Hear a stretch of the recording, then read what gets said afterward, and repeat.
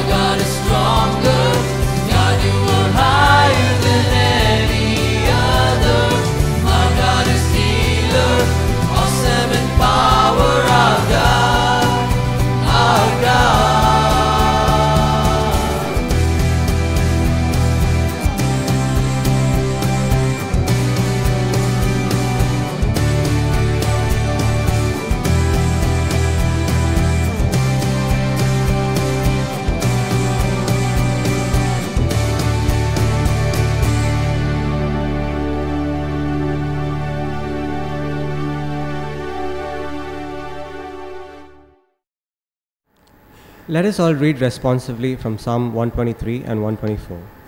To you I lift up my eyes, O you who are enthroned in the heavens.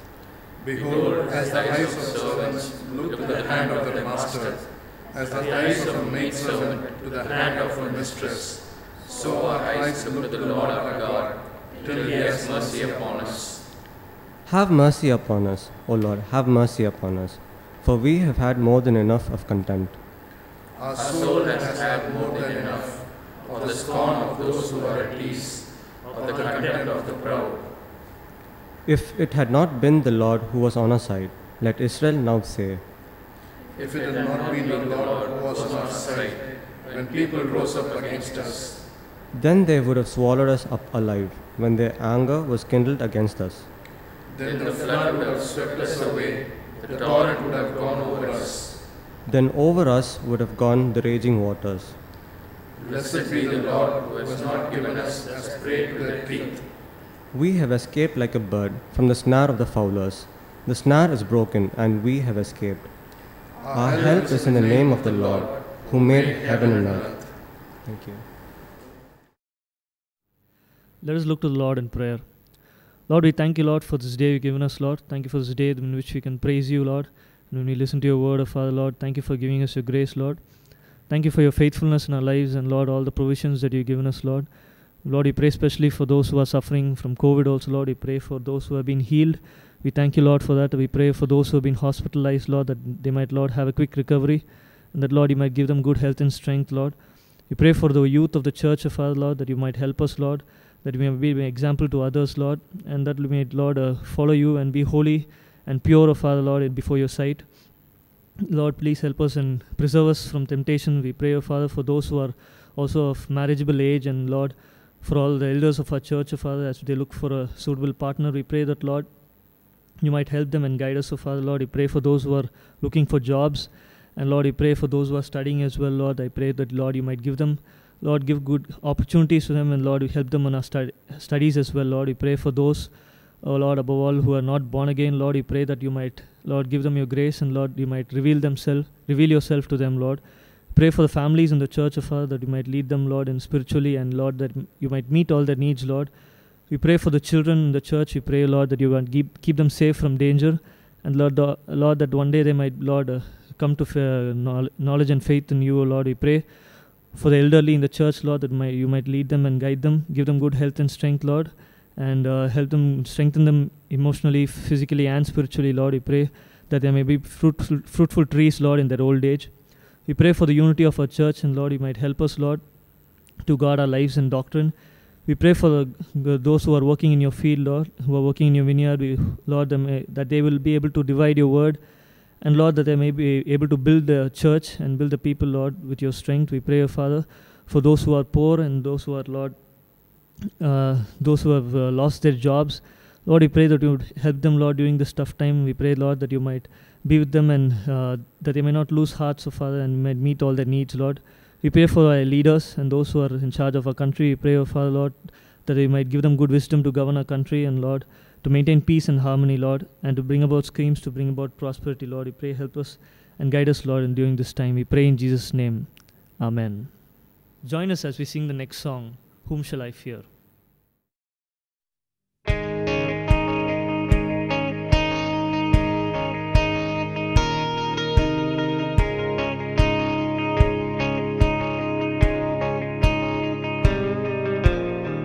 You hear me when I call. You are my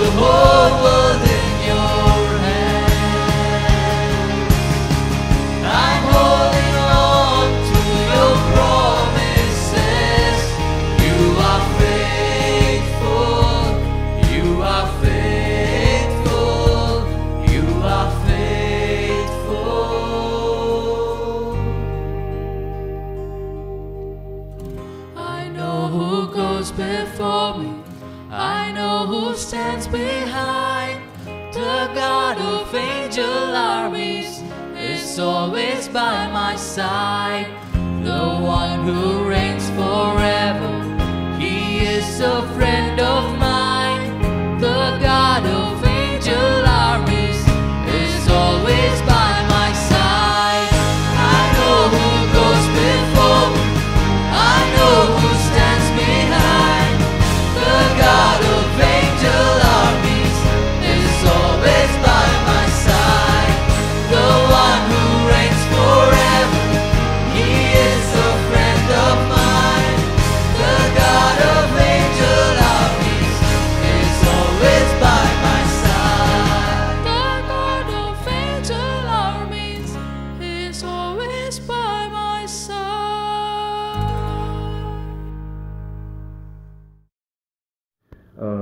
Praise the Lord. Uh, my name is Joanne, and I'm currently studying at ACS Medical College in Chennai.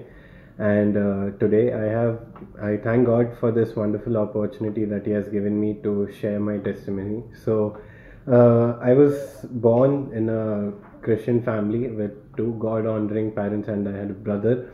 I have a brother. So uh, we we used to attend church regularly. We used to go to every event that was organized by the church and used to participate in everything quite uh, actively. So so yeah for, for my entire childhood i was uh, we, we, we did all things religiously. But around my ninth to uh, ninth grade to 11th grade i had uh, i decided that i wanted nothing to do with christianity or nothing to do with god uh, in itself and uh, i wanted to pursue my own thing. I wanted to do my own thing and uh, do what was right in my own eyes and just go about doing as i wish. So uh, during my ninth and 11th standard I, I like the prodigal son went out and was just enjoying the worldly pleasures as it presented itself. And then uh, during my uh, 12th grade so after my 9th to 11th grade uh, during my 12th grade uh, one of my cousin brothers. So he he just came up and after our sunday service he just said uh, joanne why don't you look up christian apologetics? And uh, at first i was quite skeptical about it. I i, I didn't want to particularly watch those long lengthy videos but uh, but then somehow I, I thought okay let's give it a shot and I, I found myself within a few weeks watching these three hour long debates and all that stuff. And uh, like at the end of all I, I used to come to a conclusion that okay so what i believe is irrational and what theism presents is quite rational.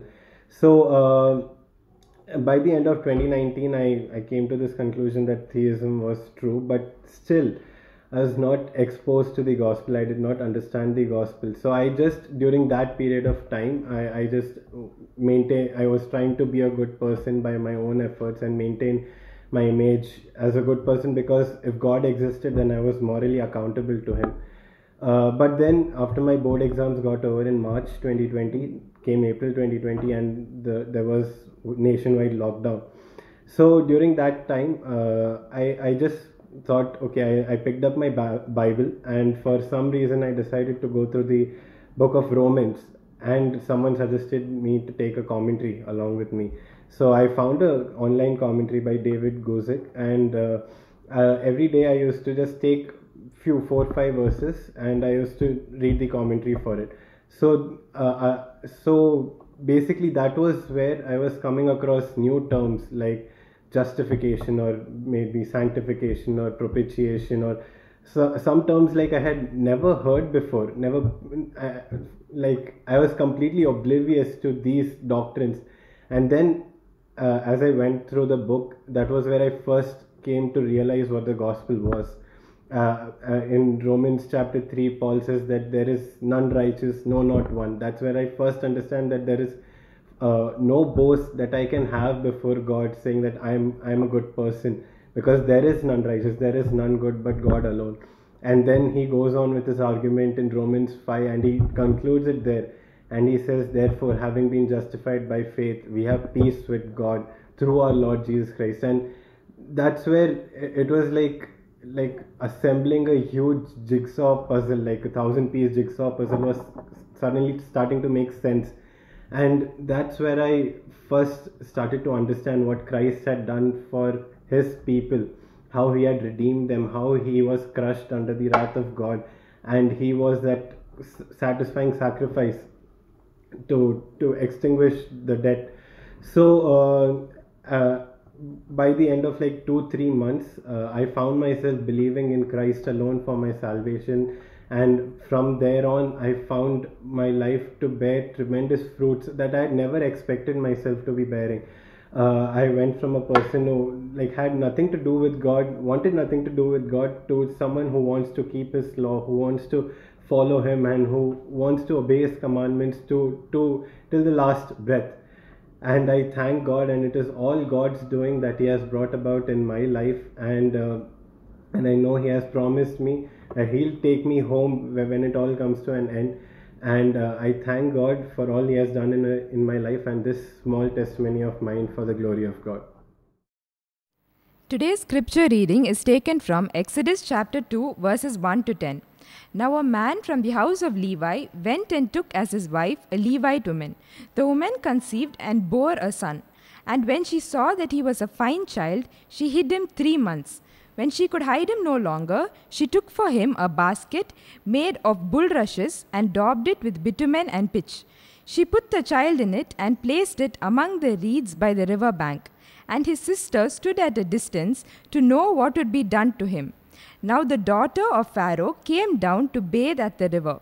While her young women walked beside the river, she saw the basket among the reeds and sent her servant women, and she took it. When she opened it, she saw the child, and behold, the baby was crying. She took pity on him and said, This is one of the Hebrews' children. Then his sister said to Pharaoh's daughter, Shall I go and call you a nurse from the Hebrew women to nurse the child for you? And Pharaoh's daughter said to her, Go. So the girl went and called the child's mother. And Pharaoh's daughter said to her, Take this child away and nurse him for me, and I will give you your wages. So the woman took the child and nursed him. When the child grew older, she brought him to Pharaoh's daughter, and he became her son.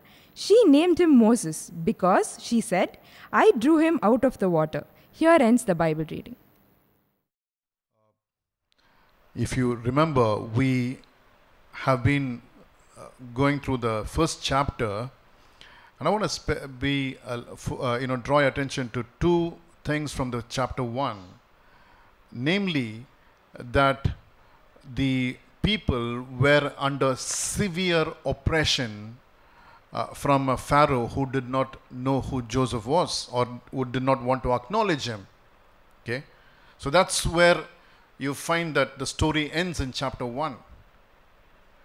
And also, uh, you, you know, the, the, there is this intense, or rather, uh, the multiplication of the people. Okay, they were growing in numbers. Did that solve the problem of their oppression? No. In, in fact, it made it worse. Now, what is happening in chapter 2 is, you know, after focusing or rather, you know, giving us a distant view of what is happening, the author now focuses, us, focuses on one family uh, or, or what is happening in that family. Okay? It was just another ordinary family. There was nothing very spectacular about them. They were part of the oppression, uh, and uh, they were also part of the people who cried out to God. The first, you know, principle that we can learn is God uses godly families to fulfill His purpose. Now, look at verse 1. It says, Now a man from the house of Levi went and took as his wife a Levite woman. woman. And so, you know, that's where he now focuses on one, one, one marriage, one couple, who both of them, the, both the husband and the wife, are from the tribe of Levi. Who were they? What are the names? We not, they are not mentioned here. But if you turn for a moment to Numbers chapter 26 and verse 59, it says, The name of Amram's wife was Jochebed, the daughter of Levi, who was born to Levi in Egypt. And she bore to Amram Aaron and Moses and Miriam, their sister. So the father's name was Amram, and the mother's name is Jochebed. What do we know about this couple? Not much. But there's something that is given in Hebrews chapter 11 and verse 23.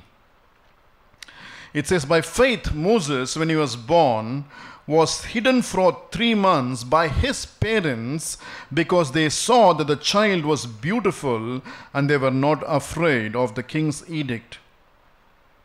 Now, that's a very unusual term to describe a boy baby. Okay?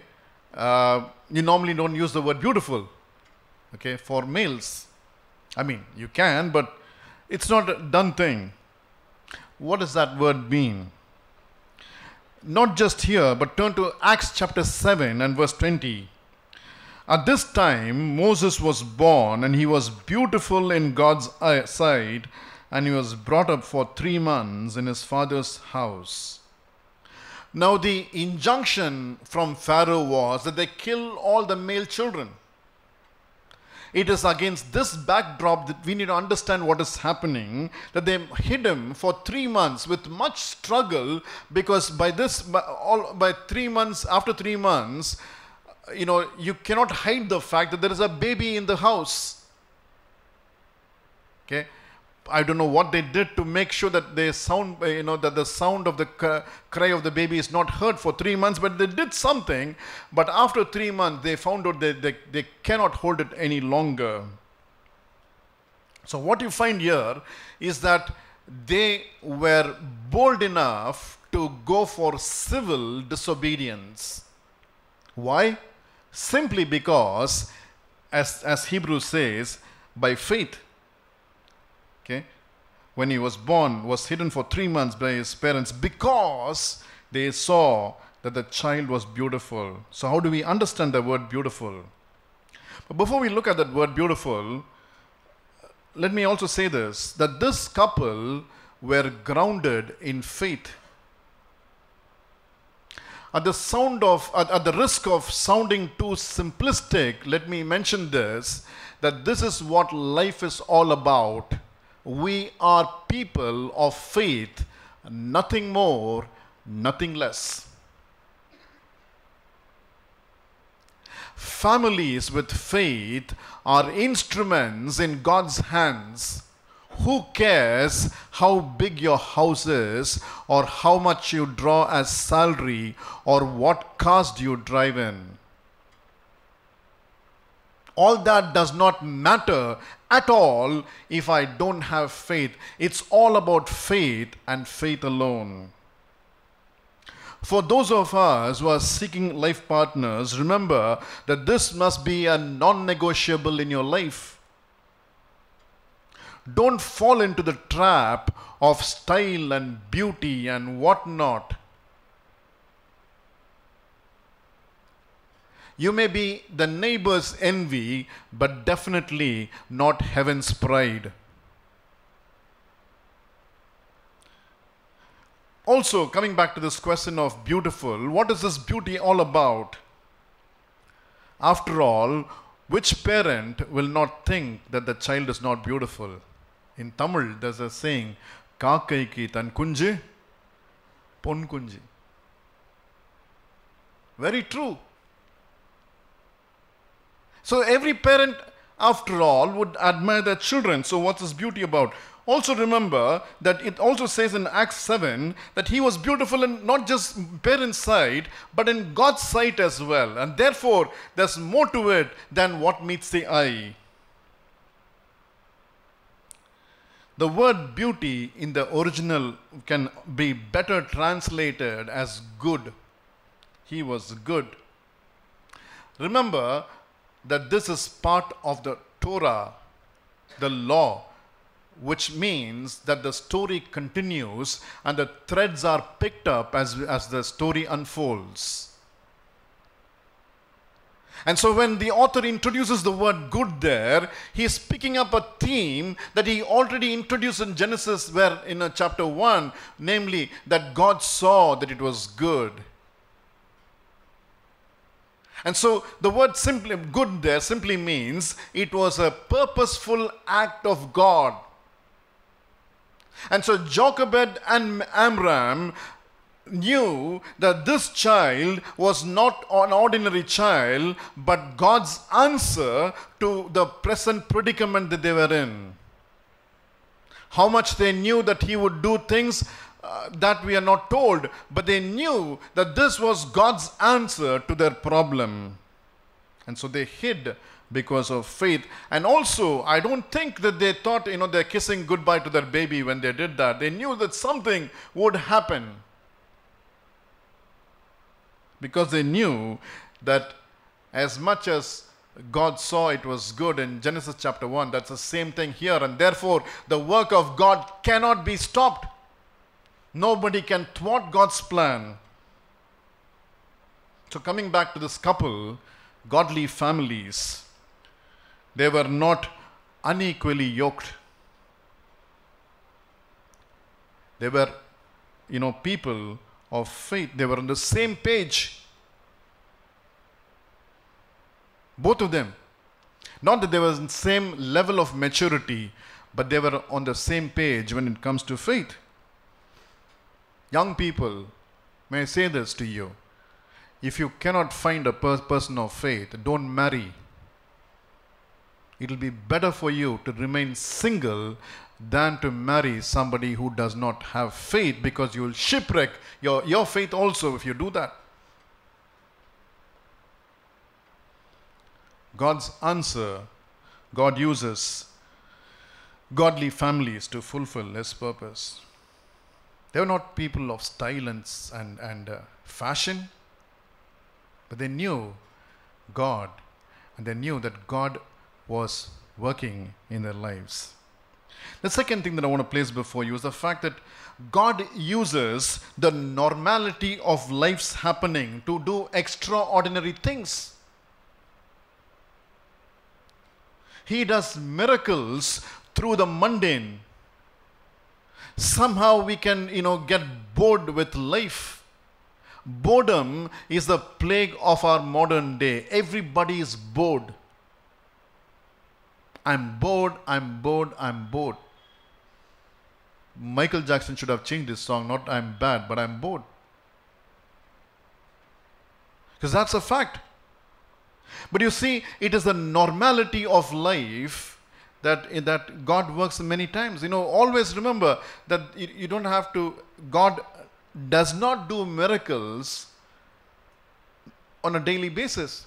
If miracles happen on a daily basis, you cannot call them miracles, first of all. When He deems it necessary and how He sees it, sees it fit, He would do. But otherwise, the normalcy of life is used by God to fulfill His plan. So, verse 1 this, this very ordinary marriage that happened. No photo shoot, no uh, bridal shower, nothing of that sort. Just an ordinary, simple wedding. But then also, if you look at verse 2, it says, The woman conceived and bore a son, and when she saw that he was a fine child, she, she hid him for three months. What's so unique about it? There's nothing unique about it. Everybody who gets married would, you know, get, find themselves, you know, having a baby sooner or later, unless God has other plans in their lives.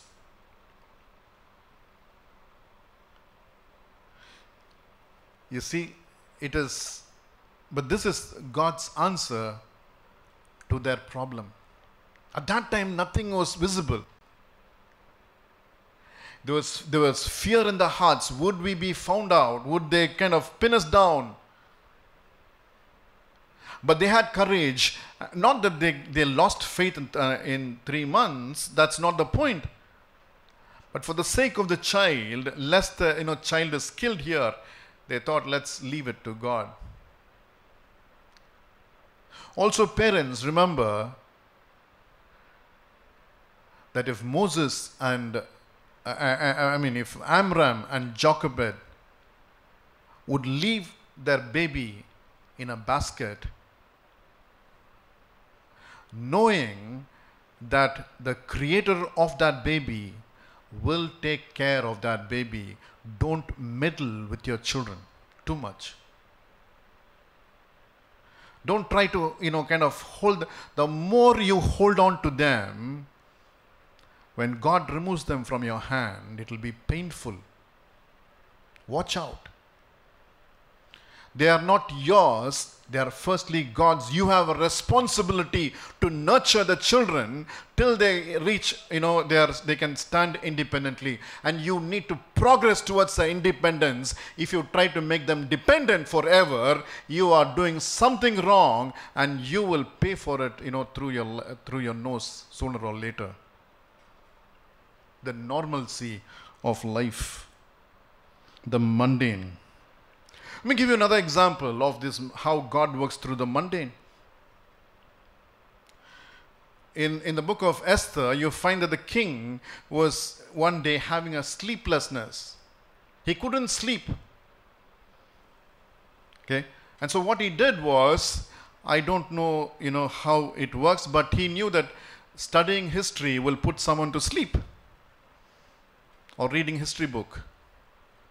No offense if you are doing history. But the point is that this man, this king asked for the, you know, historical uh, book of history and he's asked, you know, somebody was reading for him all that happened. It was then that they found out what Mordecai had done. I mean, think of it. How can this happen? The, the incident happened that the Mordecai actually saved the king and, uh, uh, you know, nothing was done for him. It was just, you know, uh, forgotten. But the time came that through the sleeplessness of a king, that God brings Mordecai to the front and honors him. Normalcy of life. Don't get bored with routine. Normal is boring, they say, but not in heaven's perspective. Don't despise it. Thirdly, you see, don't despise or ignore children. You look at that baby Moses, you, you would not, you know, make anything big out of it. Oh, what's this? Just another child. But you see, God's answer to uh, God's answer both through the Egyptian, I mean, the Israelites who were in Egypt, and humanity which is in sin, both of it is a baby. The baby Jesus and the baby uh, Moses. Okay? Very important. This is not the way we think. A helpless baby being the solution for a problem that is looms too large that you cannot solve on your own. Not even the entire community of people living in uh, Egypt can solve the problem. But God's answer was this small baby, helpless baby. Turn with me for a moment to Hebrews chapter 11, beginning from verse, I mean 23 and 24. By faith, Moses, when he was born, was hidden for three months by his parents because they saw that the child was beautiful and they were not afraid of the king's edict. By faith, Moses, Moses, when he was grown up, refused to be called the son of Pharaoh's daughter. Now, if you carefully follow that, those two verses, verse 23 speaks of Moses' parents' faith, whereas 24 speaks of Moses' faith. Okay? Now, to help us unlock this, this two verses, let me read for you from 2 Timothy chapter 1, verse 5. It says this I am reminded of your sincere faith, a faith that dwelt first in your grandmother Lois and your mother Eunice, and now I am sure dwells in you as well. Two examples of how faith is passed on. It is not passed on through genes, but it is passed on through instruction and nurturing. Very important. that we got to do everything within, your, within our capacity to nurture the children in faith. Otherwise, you are shipwrecking their entire lives. What good will it gain for a man if he gains the whole world but loses his soul? Your child can be an accomplished person, but if he or she does not have faith, they have lost in life. Don't despise or ignore them. They can be a spear in your hands. that- uh, I mean, they can be an arrow in your quiver that you can use to shoot where you want to shoot, or they can be a spear that will plunge into your into your chest.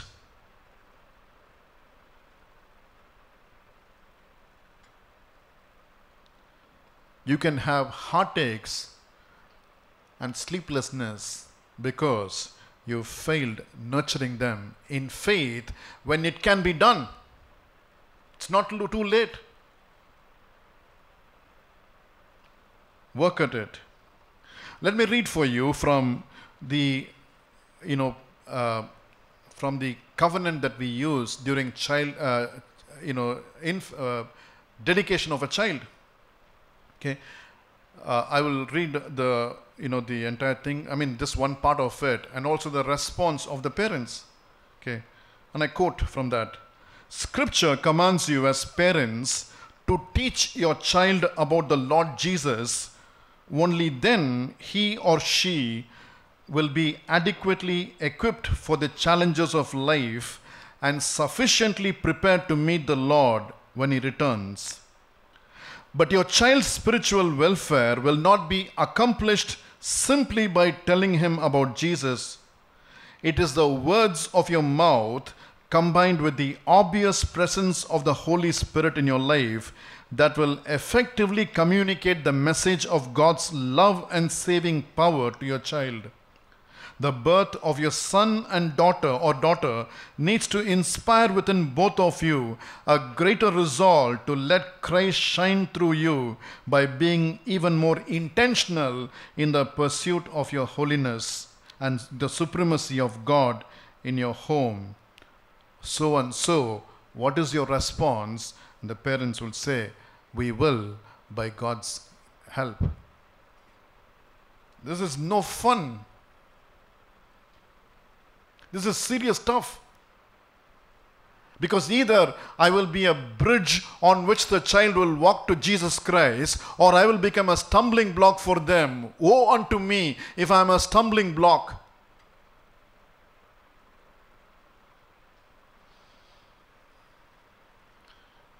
If you're married and both of you know the Lord Jesus Christ as your Savior, don't kill your, your, your children spiritually with your squabbles and fight.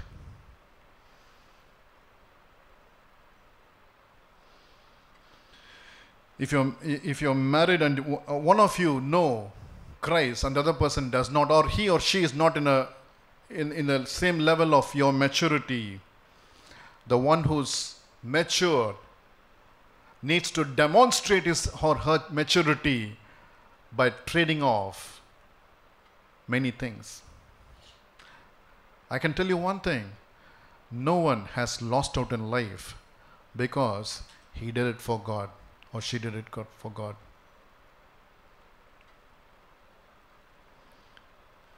If you're waiting to get married, consider the cost and train yourself in sacrifice. Otherwise, you'll, you're, you're, you're you'll be fighting a losing battle. Fourthly, God uses obedience of ordinary people to fulfill his plan. Now notice verse 3.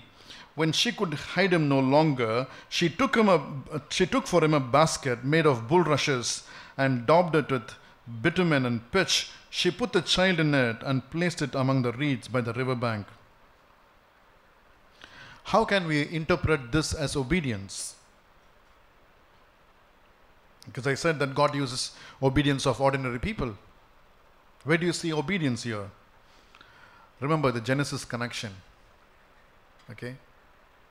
Now, the word basket that is used in Exodus chapter 2 3 is the same word that is used for Noah's ark. Okay? Which means that you know God instructed Noah just build an ark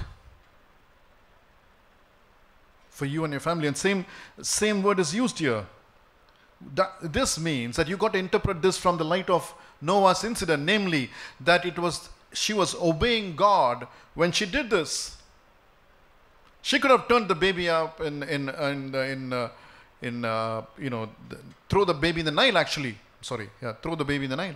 But she did not throw the baby into the Nile. But she put a made a basket which is rem, uh, which is uh, replicating what happened. Not that you can replicate everything that God did in the past, but here it is that way.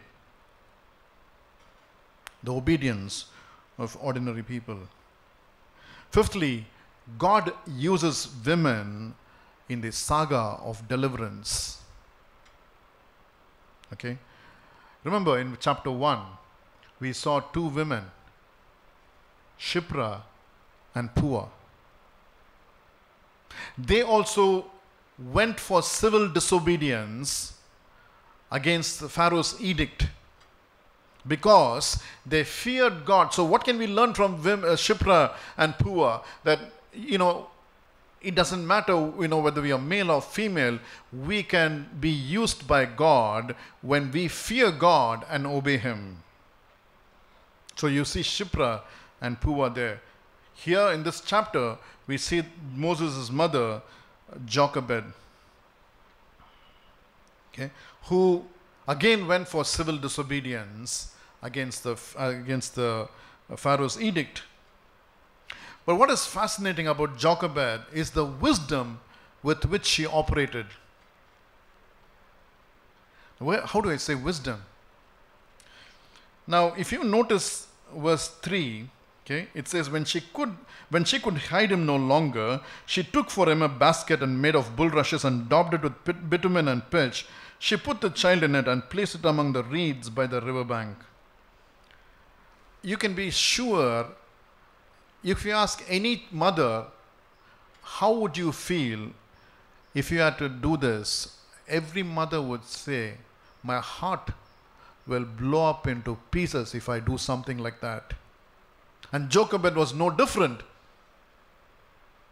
But you see, what is fascinating is when she was going through this extreme grief of going to be separated from her child, her wisdom is just outlandish. I will tell you why. Okay? Because it says that she placed it among the reeds. What's the implication? That the, that the basket would not be drawn with the water current, it will remain there. Chances of somebody finding it is high. Okay, only a woman can come up with something so wise as this. But still, they're not called to preach.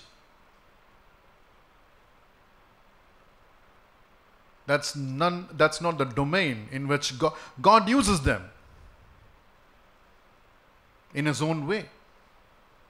So Jochebed is, is definitely uh, a brilliant lady. Also know that uh, you know if the basket was you know went with the current, Nile is a place where crocodiles would uh, you know be in plenty. There's also that danger. But against all odds, God protected the child. The fourth know, woman that I want to place before you is this little girl called Miriam. Miriam, for Miriam also it was quite a heart would have been heavy to, to see her baby boy, baby brother, you know, being left in the Nile. But she, what she did is she stood there she didn't initiate this, but it was Pharaoh's daughter who initiated it. When she initiated it, Miriam latched onto it and said, Can I go get you a, a nurse for her? They call her wet nurse. That's exactly what it's all about.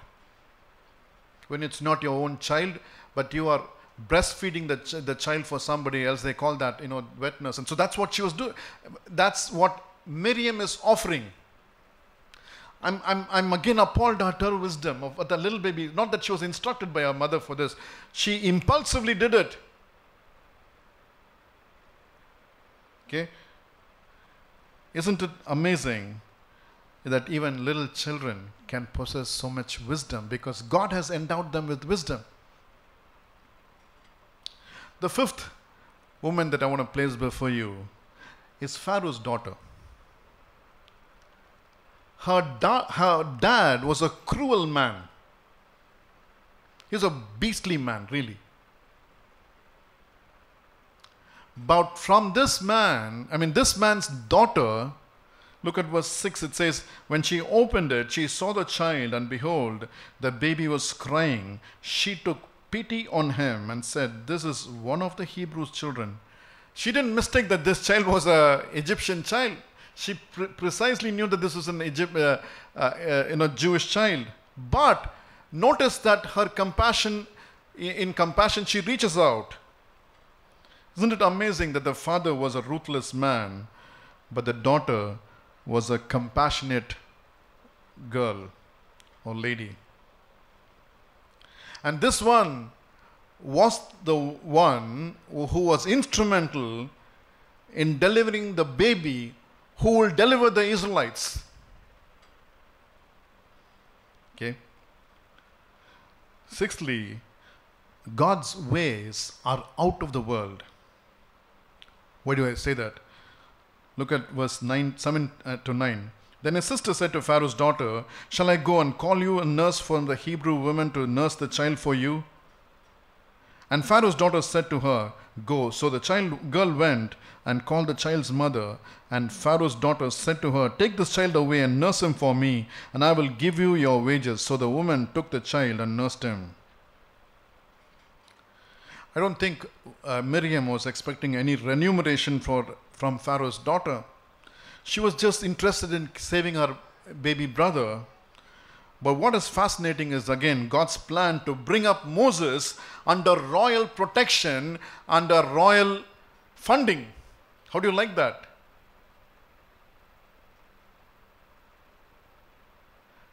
Um, you know, Moses was brought up, was nurtured in the place which actually stood against the Israelites. Okay, it was the headquarter. Nobody can come up with any plan like this. God's plans are always out of the world. Wait for God's plan to fulfill. Boyce, commenting on this, says, and I quote, When you run away from the Lord, he's quoting, it's talking about Jonah, when you're running away from the Lord, you will never get to where you are going, and you always pay your own fare. But when you go the Lord's way, you always get to where you are going, and He pays the fare. Jonah never got a refund for the unused part of his journey. But this lady was paid for bringing up her own child.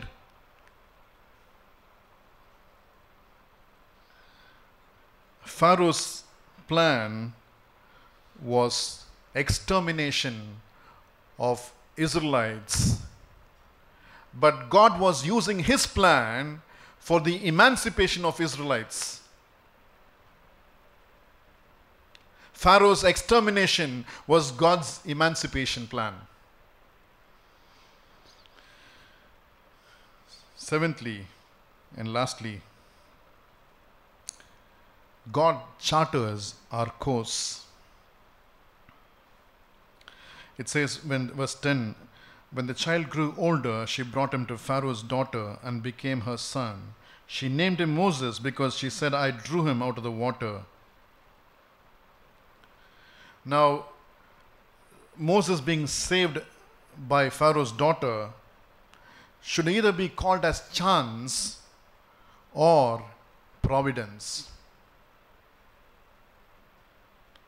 If you believe in chance, then your faith is too great. I would rather believe in a God who charters our course than chance. You see, God, the steps of a good man are ordered by God. Okay, so now in uh, we'll just look at one verse that we will again be seeing next week. Look at verse 11. One day when Moses had grown up, he went out to his people and looked on their burdens, and he saw an Egyptian beating a Hebrew, one of his people. Now, what is happening is that for a we do not know till uh, when was Moses with Jochebed and when did he actually move into Pharaoh's house. But it will be safe to conclude that it would have happened somewhere around 12 or maybe before. Not a big deal about, you know, at what age because uh, 12 is the age uh, they call, you know, when, when a person, fin- when a Jewish boy finishes 12, they call it bar mitzvah. By that time, he is nurtured in faith. This, of course, was a much later development, but uh, you know, somewhere between 10 to 12. But what had happened is uh, Moses was trained in his faith by his parents, and then he goes to the uh, to uh, Pharaoh's uh, pal- to the palace, and there he was trained in administration, in war, and in management, and all that. You see, God was training him. God was taking him through a course. That's why he said, God charters our course and decides the time as well. Okay. In closing, let me say this. You see, we don't see any mention of the word God, okay, in this chapter, or at least from verses 1 to 10. Okay. There's no mention of the word God. But God was acting, as I said, through the normality of, of events, through the mundane.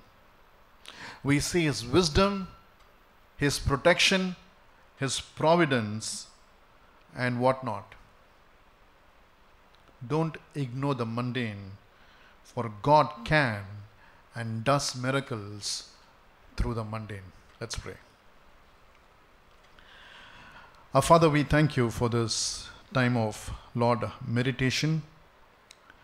God, we truly thank you for your wisdom and your sovereign plan, Lord. Uh, Lord, we know that none of us can even think of anything like this. Lord, how often we get bored with our routine. Father, help us to remember the sacredness of life and the sacredness of our responsibilities, whether at school, at other places of study, or at our work, or at home. May we remember the sacredness of what we do. Lord, as Paul says, help us to do it all for the glory of God. May we not fall into the trap of boredom, but help us to find joy in doing the mundane, O Master. For this we ask in Jesus' name. Amen.